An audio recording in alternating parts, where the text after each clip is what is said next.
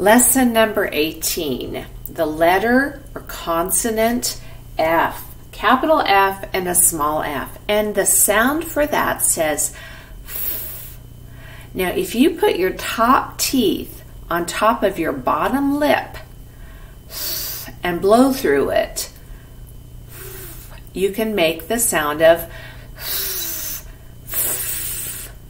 now we're going to review a, b, k, d, and now we're going to do F. But we're going to make a flag out of this capital F so you, it will help you to remember. Let's make a flag out of the capital F. Put an end on it and we'll put a flag there. Now you could make all sorts of designs because I think every country has a flag. But if you can just remember that the F flag starts with F and it says the F sound. Now let's say our sounds with our letter F so that we can practice saying our blends. Ah. Now, let's do f, eh i, ah, fa, ah. Now let's add some more consonants that we've already learned to the end of these blends and let's make a few words. Fab, like if you are fabulous, sometimes it's short. You'd say, oh, that's fab, that's fabulous. How about a D at the end of fa? Let's put that together. F-ed, fed. Now let's add a B at the end of fifth. Do you know what fib set means? It means to tell a lie. So you could say f-ib, fib. That's a fib.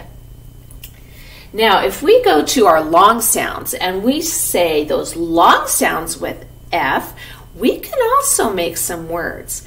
But whenever a vowel says its name, A, E, I, O, or U, there's usually another vowel that goes with it so it can say its name.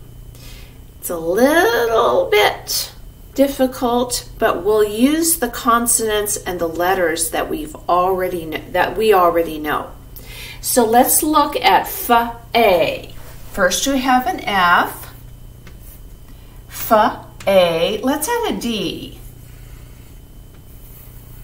Now we could say f a d, but an A doesn't say its name unless there's another vowel. So we're going to add an E after the D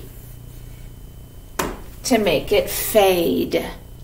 Let's do this one, feed. An F, a capital, uh, long E, and then we're going to add another E so it can say its name, and we're going to add a D, and it's going to say fa-ed. Now let's look at five f, I, f. The fife is like a flute. It's a musical instrument that makes a very high sound. And if we put all those letters together, we the E is going to make the I say its name. So we're going to have f, I, f, five. This one would be faux. And this one we could make a word out of. We could say the long U sound, f, u. The E will make it silent. And feud, feud. A feud is an argument between groups of peoples. So whenever we have a vowel that says its name, it's going to have another vowel to go with it, so it can say its name. Just remember, F, um, flag represents F, and it makes the sound. Have a good day. I want you to practice these at least 10 times so that you know what the F says. Bye bye.